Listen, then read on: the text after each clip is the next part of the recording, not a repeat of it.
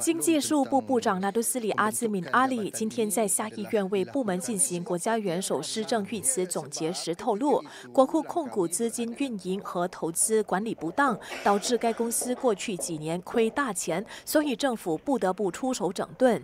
他说，国库控股曾透过一家网络销售公司，在一家售卖内衣裤公司身上投资高达二千万美元，也就是大约八千万令吉，但是这项投资。没有赚钱。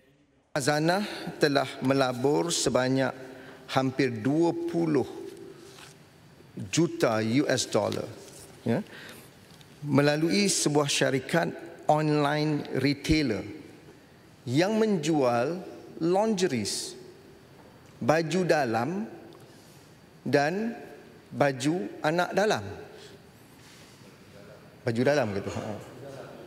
Bra jadi saya dan akhirnya pelaburan ini terpaksa di write off ataupun dihapus kira.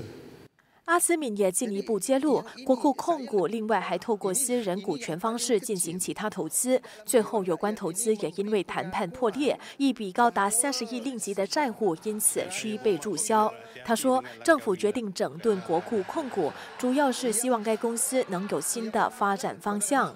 国库控股董事局上星期总辞后，首相敦马哈迪随后宣布亲自出任国库控股董事局主席，率领经济事务部部长阿斯敏。和另外三名重要人物一起进入董事部。一些在野党议员认为，这和西蒙承诺缩减首相的权限背道而驰。